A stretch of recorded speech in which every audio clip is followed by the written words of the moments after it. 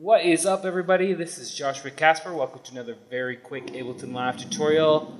This is on groups. It's just an addition to the other tutorial I did. I forgot about this. But um, once you've grouped together a bunch of tracks like I've done here and this track I'm working on, uh, you can add effects to the, the group channel as opposed to having to say if I want the auto filter, which I have here, if I want to do that to all of the top parts of my track, and I don't want to have multiple instances, and it's a little bit different than using a send and return, I'll just drop the effect right onto the group and then add my you know on-offs and my frequency specifically what I did for the auto filter here on this track. So if you listen here, you can hear how it dips down and comes back in.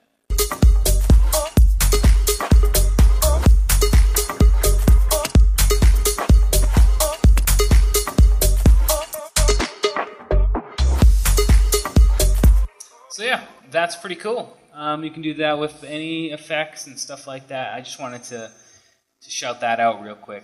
Um, I hope that helps. See you next time.